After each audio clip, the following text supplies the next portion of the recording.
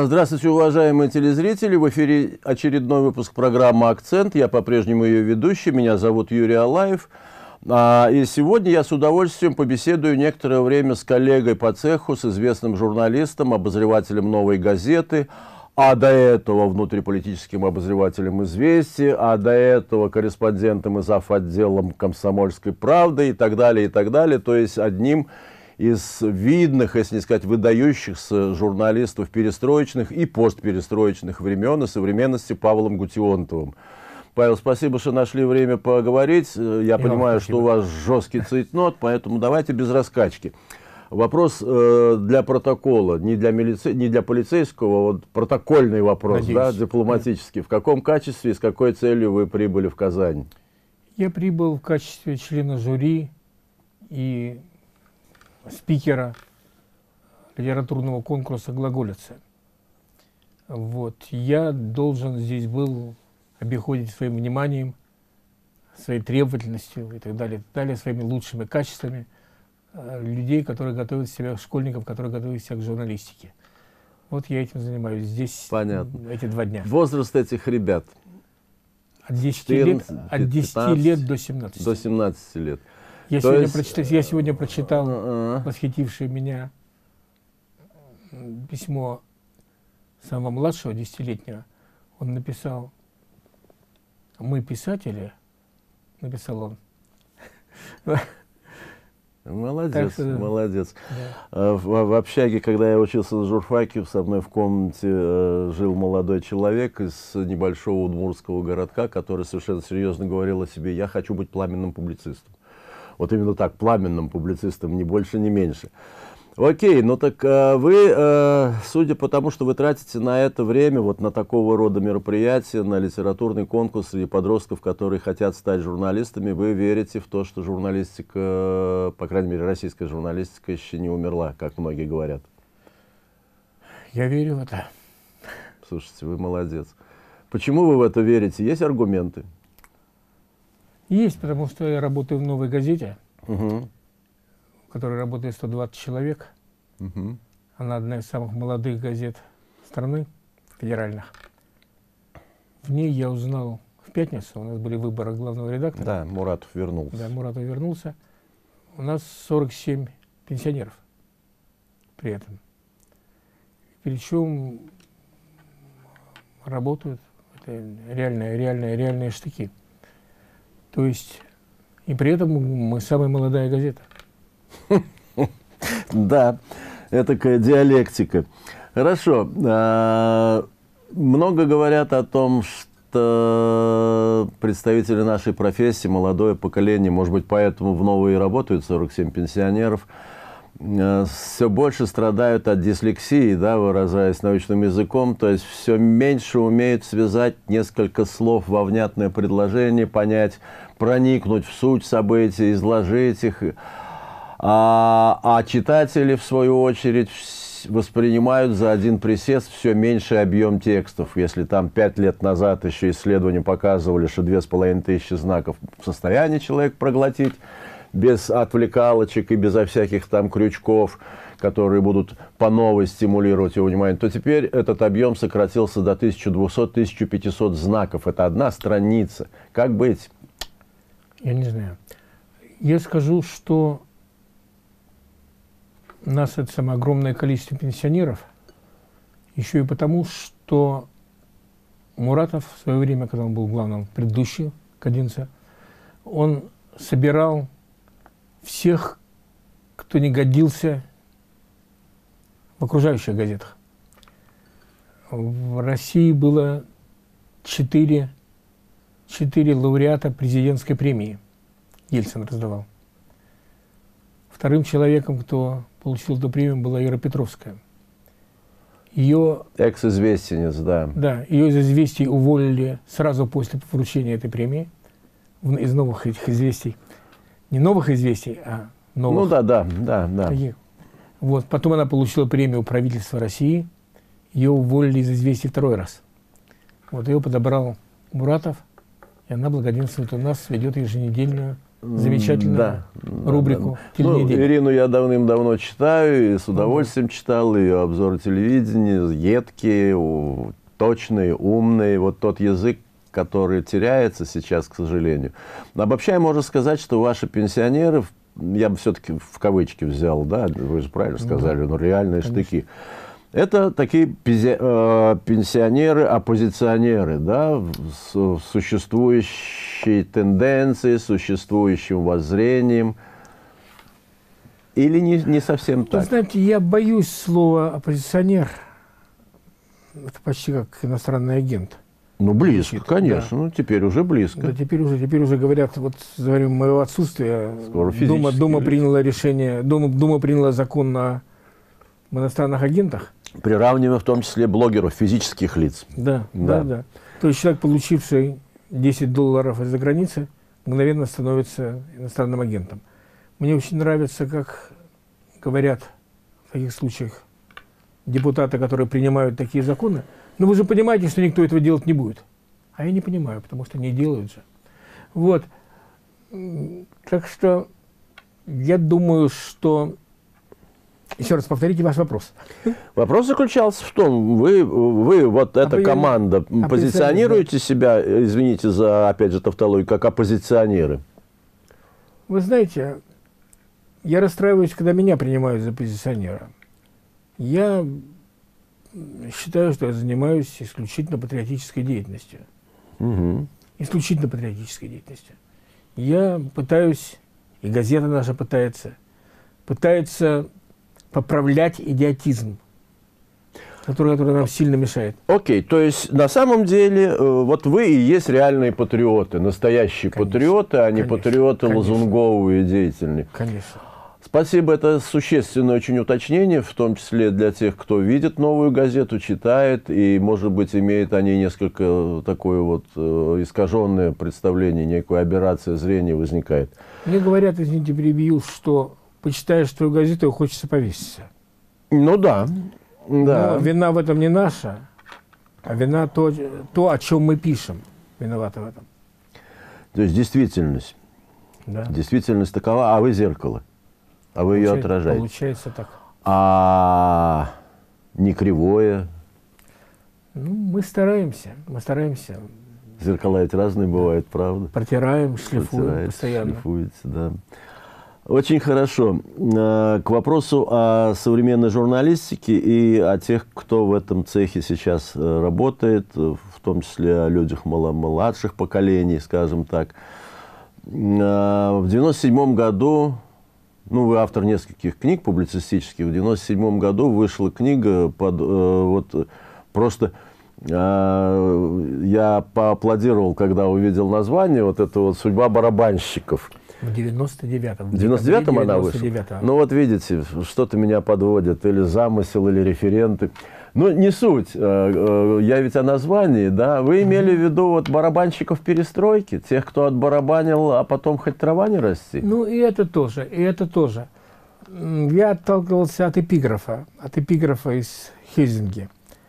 Он в своей, в своей книге он нап- написал, что об эскимосском племени, я не смогу его процитировать наизусть. Ну, неважно, да, смысл.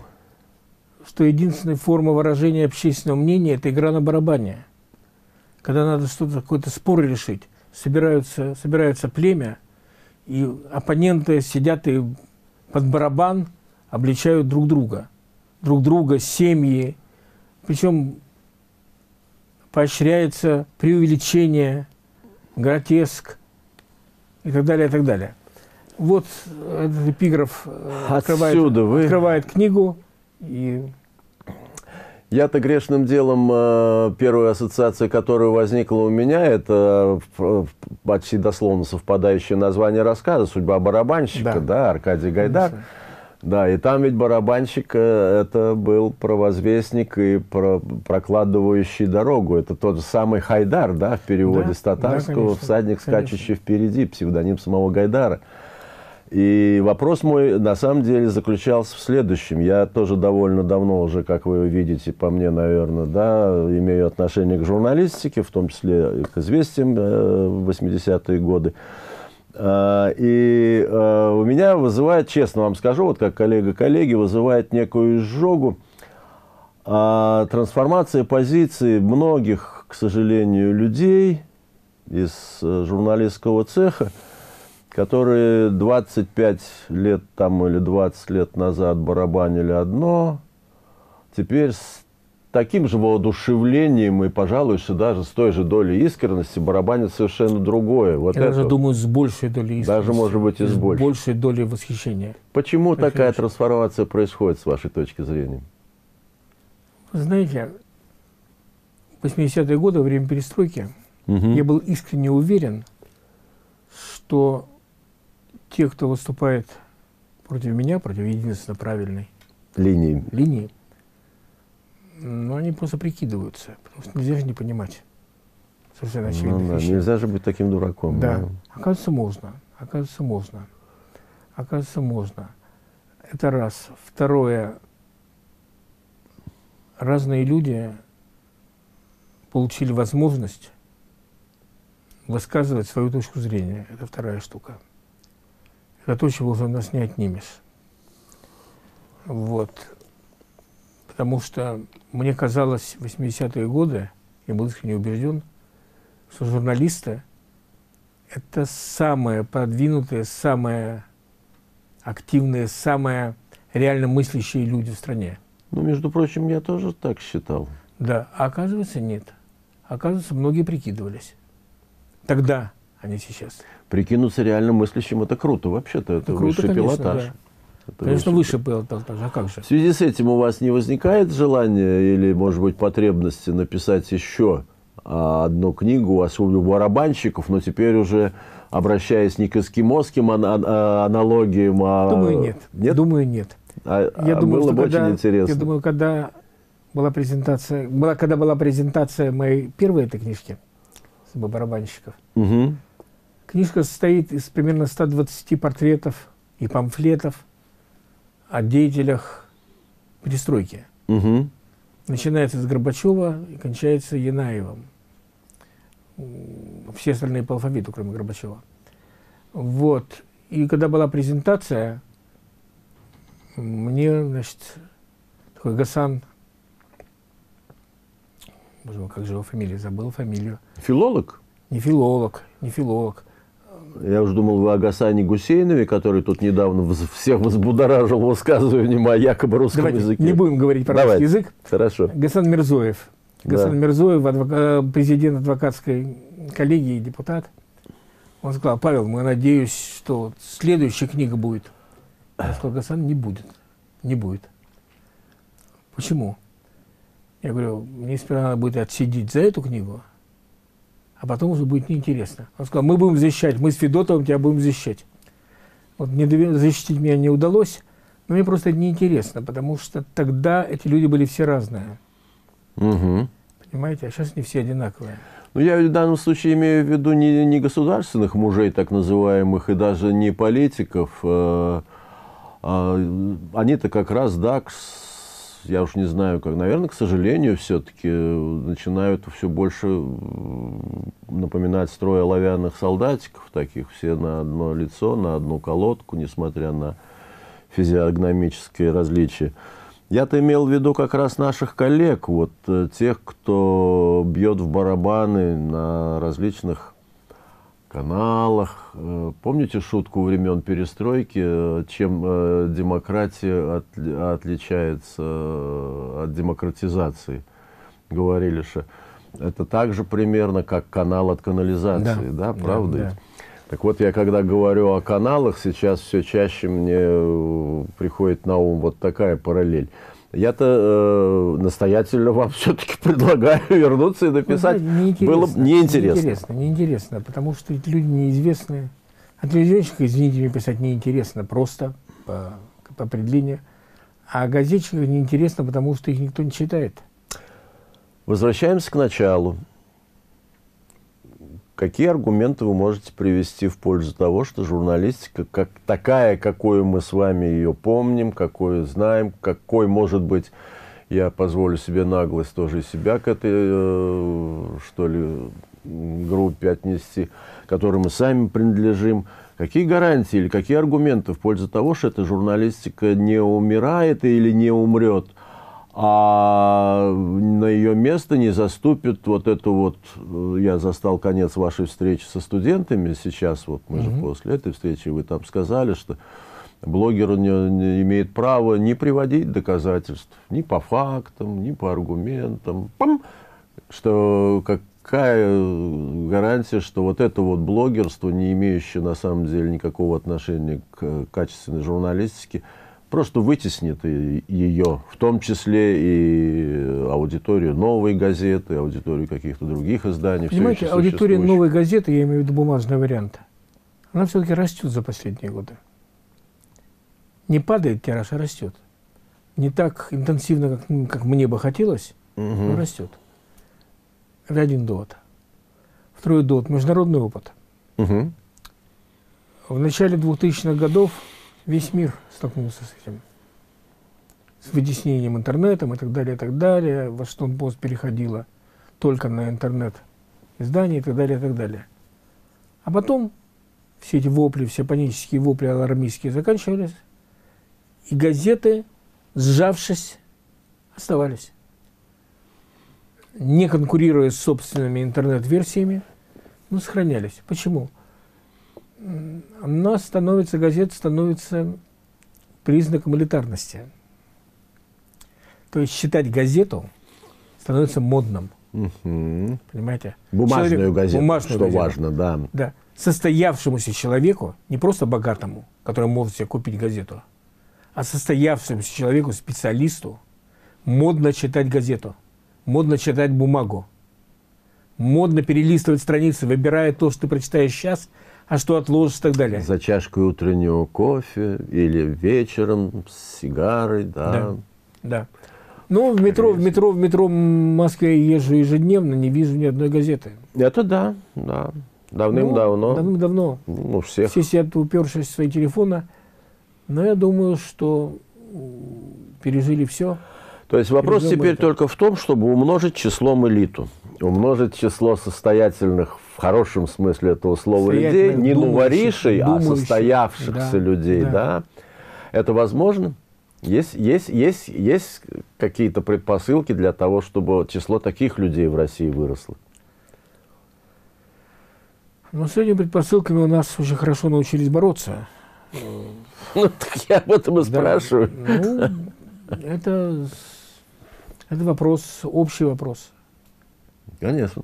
Да. Конечно, потому что после вопроса о судьбе качественной журналистики, здесь вы заняли все-таки позицию, на мой взгляд, оптим... ну, не, не просто оптимистическую, а боюсь даже охарактеризовать ее, я более скептически настроен. А, как раз в силу того, что людей, э, состоявшихся в том смысле, в котором мы с вами это имеем в виду, их, к сожалению, не очень много. И если новое прирастает тиражом немножко, но прирастает в условиях э, такого мегаполиса, как Москва, но это мало о чем говорит. Э, коммерсант в лучшие свои годы, да, говорил, о, у нас там растет тираж, растет 100, растет это но при этом коллеги скромно так э, не то что умалчивали, ну просто как-то это уводили с авансцены, то обстоятельство, что 97% их читателей это была Москва и Питер. Ну, да. Но отнюдь не вся Россия, да? А что можно сказать о сайте? По сайту, по вот, э, ну конкретно по вашему сайту. Сайт растет очень Сайт хорошо. тоже растет, да, да потому что растут, разы, соотве- растут, растут соответствующие настроения. Я тоже получаю рассылочку ну, ежедневно с представлением каждого номера. А, мы э, вынуждены заканчивать не в силу того, что я уже не знаю, о чем вас спросить. Я вас еще минимум полчасика поспрашивал. А, а я знаю, что ответить. А вы знаете, что ответить, а в силу того, что у вас жесткий цейтнот, и я не смею вас задерживать, у меня последний вопрос – а, опять же, о кончине некоторых, может быть, явлений или процессов, или э, составов, объектов. Э, Владимир Владимирович Путин сравнительно недавно э, на весь мир заявил, что либеральная идея себя изжила. Во-первых, я должен заметить, что он не одинок в этих своих воззрениях. Если посмотреть последние высказывания господина Фукуямы, то он, в общем, в каких-то, по каким-то акцентам солидарен, оказывается, хотя, конечно, он этого никогда не скажет.